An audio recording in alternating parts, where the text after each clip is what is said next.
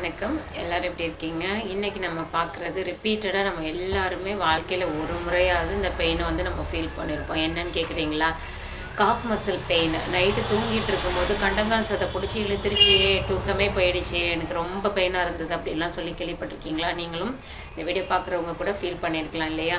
சரி அது எதனால் வருது? அதை எப்படி அவாய்ட் பண்ணிக்கலாம்?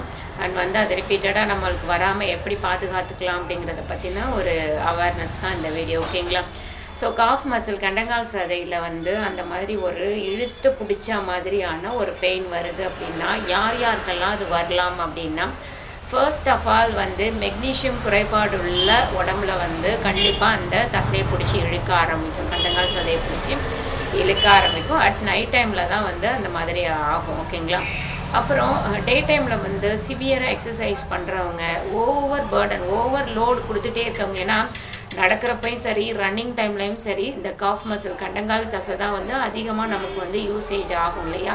ஸோ அதுக்கு வந்து ஓவர்லோடட் ஆஃப் ஒர்க்கு கொடுக்கும்போது உங்களுக்கு நைட் டைமில் வந்து அந்த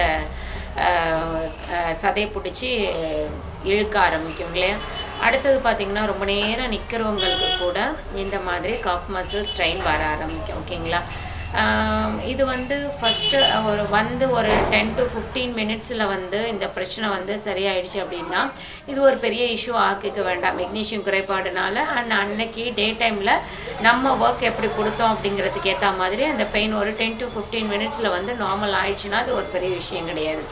அதே அந்த காஃப் மசில் பெயின் வந்து ஒரு three days or four days வந்து கண்டினியூஸாக உங்களுக்கு இருக்குது அப்படின்னு சொன்னால் நீங்கள் வந்து அது கொஞ்சம் கவனம் செலுத்தப்பட வேண்டிய விஷயம். ஏன் அப்படின்னா டீப் பெயின் த்ராம்போசிஸ் அப்படின்ற ஒரு கண்டிஷன் வர்றதுக்கான வாய்ப்புகள் கூட இருக்கும் ஓகேங்களா அது வெயினில் வர கண்டிஷன் அதனால வந்து அதுக்கான மருத்துவரை அணுகி நீங்கள் என்னென்னு பார்த்து சரி அதுக்கான வைத்திய முறைகள் எடுத்துக்கிறது ரொம்ப நல்லது.